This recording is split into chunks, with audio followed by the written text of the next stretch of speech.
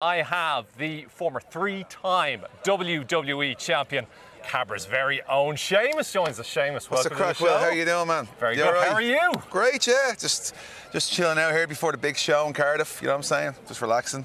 Bit of coffee in my hand, keep me awake. Keeping you going from the jet lag. Listen, first of all, how good is it to be back in, in Europe? It's great to be back. Look, anytime I can get across the pond it's great for me. Uh, the last 15 years, the you know, the schedule in W is so intense. You know, it's very intense. You're going all the time. But uh, any chance to get to come home is great. Like literally after tonight, when I beat that uh, Austrian Gunther for the Intercontinental Championship, I'll be straight to Heathrow, Aer Lingus to Dublin for four days to see the family to celebrate with them. So I'm, I'm super excited. Bringing back the gold. Listen, talk to us about the past few years in WWE because obviously you were, you know, you were performing in front of thousands of people. Then all of a sudden, within a week, you had to adapt. They did. They stayed on air, and you're performing in front of nobody. And you guys feed off the crowd, don't you?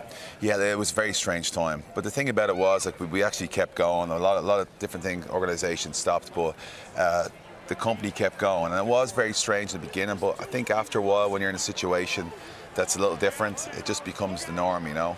Um, so when I went to the, the Thunderdome era, which they call it, which was just the video, video boards and everything, and empty, empty arenas, I think I actually kind of thrived in there because my whole life, my whole career, I had a very physical, intense style. And I think it got, got more. Um, more respect and a lot more people understanding that because when we didn't have like the crowds there so when you're having matches in, in a- an arena with no fans there's no opportunities to shoot to the crowds it's, it's all on the guys in the ring so I reveled in it I was, I was happy just baiting the, baiting the hell out of people in there it was good crack And listen, it was a bit more like a normal nine to five job because you weren't on the road so much. So everybody was hung out together. You went home, you Yeah. came back. No, it was great. It was like I go down the night before, you do the show the day of, and then you'd be back home. So you'd be back home five days a week.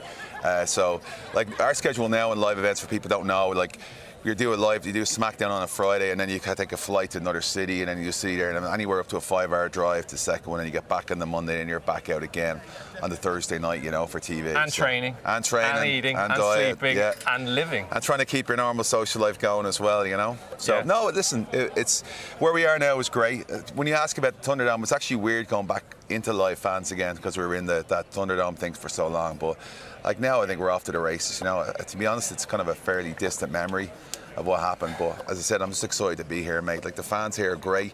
We're stone throws away from Dublin. Um, and uh, I said I'm excited here to be representing the Irish going into Clash the Castle. Well, you certainly are. And listen, talking about the Irish, you know, you were rising up the ranks in WWE. There's not many ahead of you now at this stage with Undertaker retiring and all Yeah. this. You've been around so long, you've won every belt going pretty much. Everyone except the Intercontinental Championship was the first title. Yeah, Yeah, I'm we literally. tonight. It's going to be a historic occasion, mate. You know, you're going to watch history happen because that one IC title is the one title that has eluded me my entire career. When I win that tonight, I'm going to become the first ever Ultimate Grand Slam champion in WWE. And the whole goal is to bring that home. Michael D. Higgins was on the phone to me earlier on talking about open buses and stuff. I said, Mick, don't worry about it, man. I just want to get that title there. I want to see the family. I want to see everybody back home. Pints of Guinness will be flown at Devitt's, which is the best Guinness in town, in my opinion. So I'll be straight down there having a few. Intercontinental title on one side and the Guinness on the other. Well, listen, when are we going to see you perform in Dublin or Well, around Ireland? we were talking about soon, Croke Park yeah. yesterday. That would be amazing. Well, the great thing about this is, right, over 60,000 people are coming here to like to, to Cardiff, the Millennium Stadium, Principality Stadium. And uh, to me, it's the Millennium Stadium. You know what I mean? So, uh, so many people are here, and I think this is such a huge success already that I have to firmly believe that WWE will start doing more of these shows. And Croker would be unbelievable. Aviva wouldn't be big enough. You know what I'm saying? You want Croker there, packed to the brim, full of screaming Irish fans. You know what I mean? And fans, WWE fans all over the world, all over Europe especially. I think it'll be an incredible experience. I don't think the world has ever seen a stadium. They could talk about like their MetLife Stadium, their AT&T stadiums over Yeah. there. There is nothing like Croker, and when they, they'll get an absolute shock when they step in there, where that place packed.